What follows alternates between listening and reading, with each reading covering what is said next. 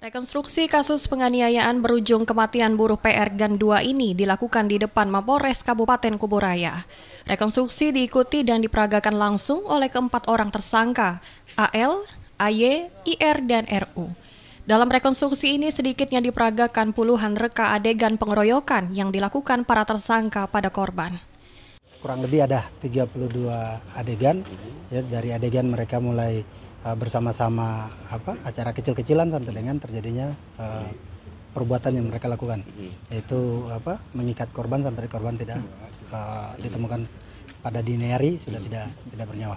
Kalau dari hasil apa pemeriksaan apa uh, dari tim dokter memang ditemukan ada beberapa lebam di tubuhnya. Dalam arti uh, setelah dilakukan otopsi ada terjadi penyumbatan di saluran pernapasan. Nah, ini yang dimungkinkan salah satu penyebabnya dikarenakan ikatan yang dilakukan oleh para tersangka ini. Kasus pembunuhan tersebut terjadi akhir pekan lalu.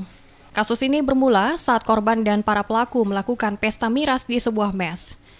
Karena terpengaruh minuman keras, para pelaku kehilangan kendali dan menganiaya korban hingga tewas. Berdasarkan hasil otopsi, polisi memastikan korban tewas karena penganiayaan yang dilakukan para pelaku. Setelah rekonstruksi ini, polisi akan segera menyerahkan berkas kepada jaksa penuntut umum. Ya, kita lakukan rekonstruksi ini untuk melihat bagaimana mereka masing-masing pelaku melakukan perannya ya terhadap proses atau terjadinya kejahatan tersebut. Itu. Setelah rekonstruksi ini Pak, tahap selanjutnya seperti apa? Kita lengkapi berkas, kita segera kirimkan ke JPU dan nanti akan dilakukan penuntutan oleh JPU. Para tersangka terancam dijerat pasal 170 KUHP subsidiar 338 ke 351 ayat 3. Sementara untuk RU yang merupakan anak di bawah umur juga akan diproses sesuai aturan yang ada.